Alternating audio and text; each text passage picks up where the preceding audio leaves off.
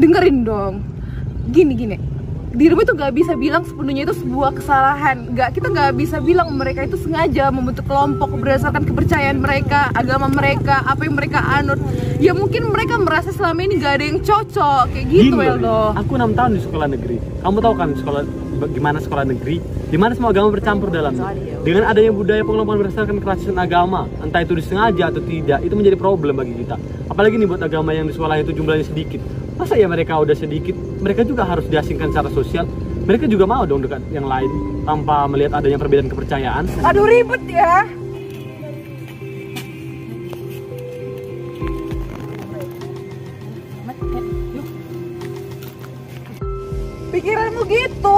ke mana-mana tapi nggak ada majunya nggak ada yang benar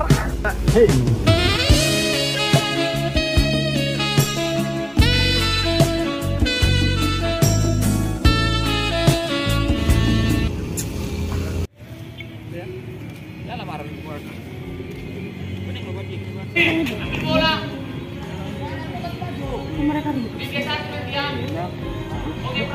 Usah, tengok di mereka mempertahankan ego mereka masing-masing. Ada yang salah. Nggak semua hal bisa dipandang dari yang positif. Kita perlu meluruskan gitu. Gak semuanya salah. Dengar, mereka tuh pakai ego mereka masing-masing. Yang perlu diluruskan memang ada, tapi belum bukan berarti Erin sepenuhnya salah. Menurutmu gimana? Ah, nggak tahu. Gimana kalau kita kumpul? Kumpul kan biasanya kita kumpul diskusi. Boleh juga sih. Nanti aku ajak Ruby, Bona sama Samuel. Tapi kalau untuk Weldo, aku juga ada janji ke rumahnya minggu depan. udah berarti supaya kita kumpul tapi kita kumpulnya nanti dari mana soalnya aku mau sama Erin sama Angel ya ya biarin aja mereka di situ Tunggu Rin, kan aku betul. Gini deh, coba dirimu bayangkan dirimu adalah mereka yang termasuk dalam kelompok yang agamanya sedikit. Terus kamu lihat teman-teman kamu yang lain itu banyak teman, ngobrol seru. Perasaan biasa kamu? aja kenapa emang berarti pembicaraan mereka ya lebih nyambung ketimbang bareng aku Oh ya udah, berarti emang dirimu antisosial, kurang menghargai diri sendiri, sama perasaanmu sendiri. Gimana mau pikir maju? oke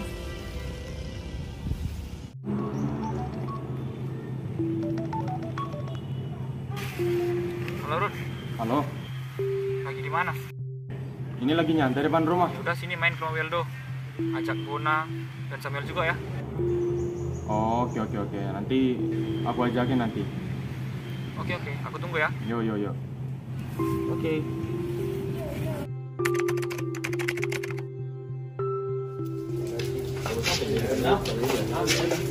Eh,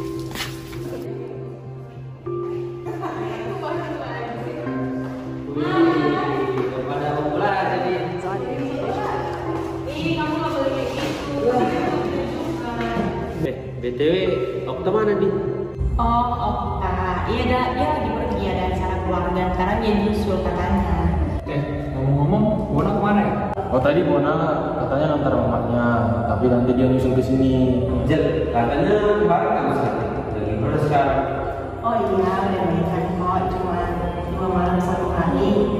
Oh, kondisi gimana? Bu? Ya, eh, Rin,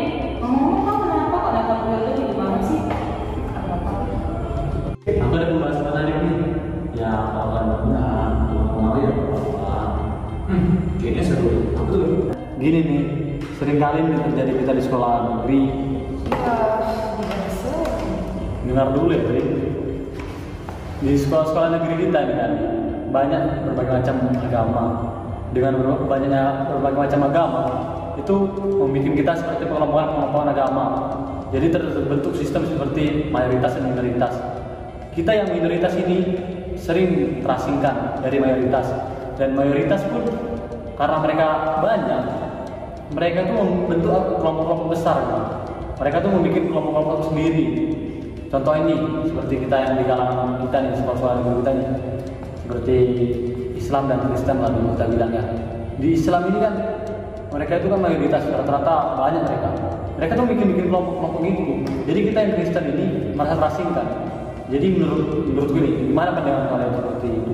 Itu menurut kalian positif atau negatif? Dan menurut kalian itu itu merugikan itu tuh pembahasanmu kita gak ada positif dan negatifnya dengan itu. Kita kan tinggal bersama-sama dengan mereka. Kalau mereka mau membuat terganggu dengan itu. Itu tuh yang dibahas kayak nggak ada topik lain. Udah bahas sih. Bentar deh, kalau Erin bilang gitu, terus fungsi dari sikap toleransi buat beragama apa dong? Bukannya kita harus saling berbaur? Bukannya buat kelompok jangan kelompok? Bro, oke, udah datang aja. Kan? Gabung sini. Hai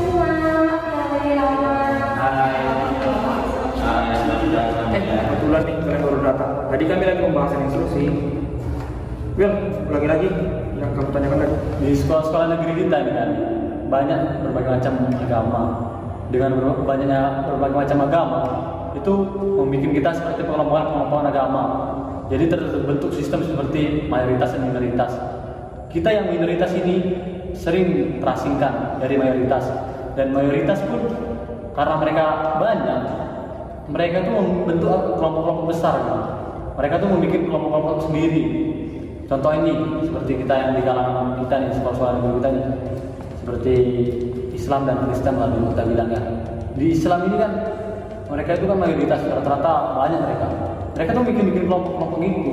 Jadi kita yang Kristen ini merasa terasingkan. Jadi menurut menurutku nih gimana pandangan kalian seperti itu? Aku sih setuju ya dengan Erin. Gak apa-apa sih kalau ada buku toh mereka juga nggak merugi kita. Kalau aku sih mau lanjutin yang dari kata-kata Rudi tadi ya, kita sebagai umat yang berani beragam, ya harusnya menumbuhkan sikap toleransi yang besar dong. Kita nggak boleh ciptakan kelompok dalam kelompok sesuai dengan buku yang kita pelajari di buku manusia berkarakter kan kita harus saling bertoleransi sesama umat beragama.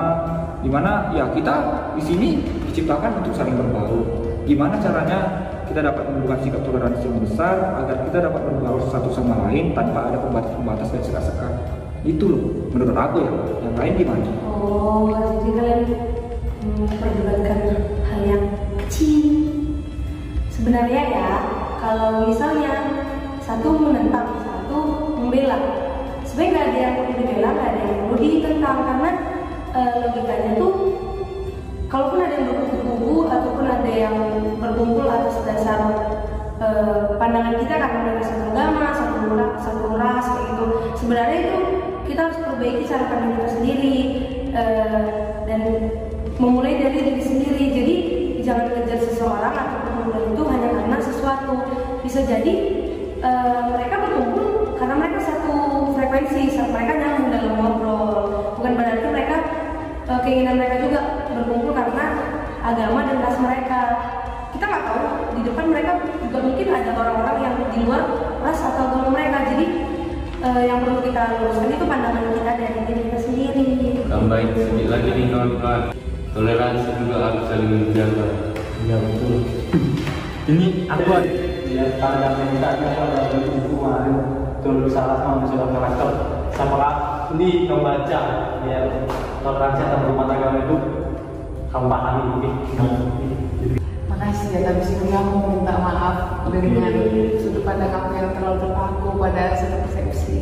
Oke, sama salam damai sejahtera bagi kamu. Terima kasih.